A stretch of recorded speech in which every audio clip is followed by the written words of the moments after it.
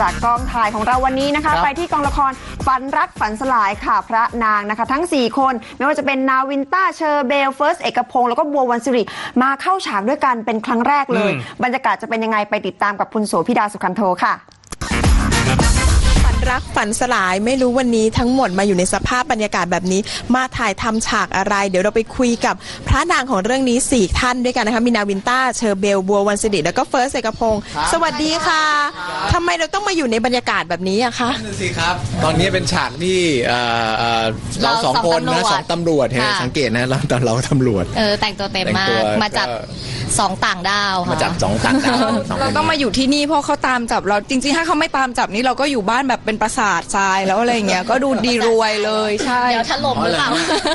อันนี้คือหน้าตาต่างดาว ใช่คือเนี่ยสองคนเนี่ยต่างด้าวแล้วถ้าคือถ้ามีเราสองคนเนี่ยดูได้เลยครับ location จะเป็นแบบเนี้ยครับ แคบแคบลกลก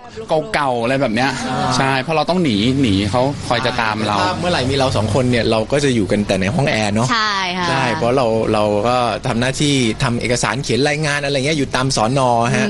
ก็เย็นเย็นๆสบายสบาก็ยก็อยากมาเที่ยวอย่างนี้บ้าง เออก็สนุกในดีบทวันเขานี้ให้จับไงให้โดนจับเราต้องไม่ยอมโดนจับ แต่ว่าในชีวิตจริงคือจับเหอะอยากไปอยู่ในห้องแอร์เออจับไปเถอะไปเดี๋ยวอยากไปอยู่ในห้องแอร์จริงๆความยุติธรรมไม่มีครับ จริง ๆ ถ่ายเรื่องเดียวกันแต่แบบ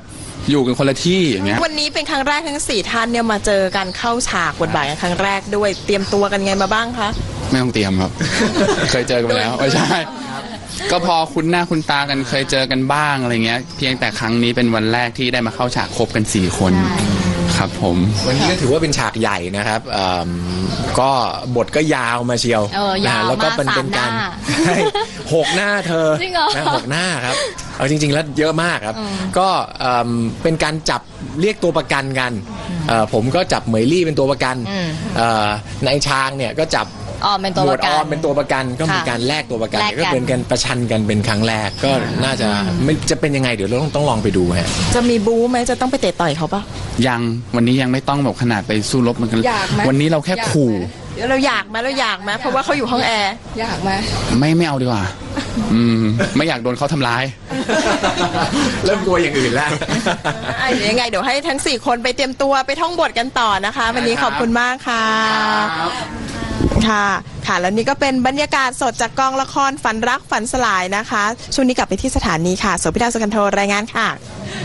อ่าต้องให้ไปเตรียมตัวก่อนนะคะ ครับผม เพราะว่าเดี๋ยวในช่วงบ่ายสี่คนถึงจะเข้าฉากรวมกันทั้งหมด 4 คน ครับผม ค่ะ ขอบคุณคุณโสภิดามากนะครับ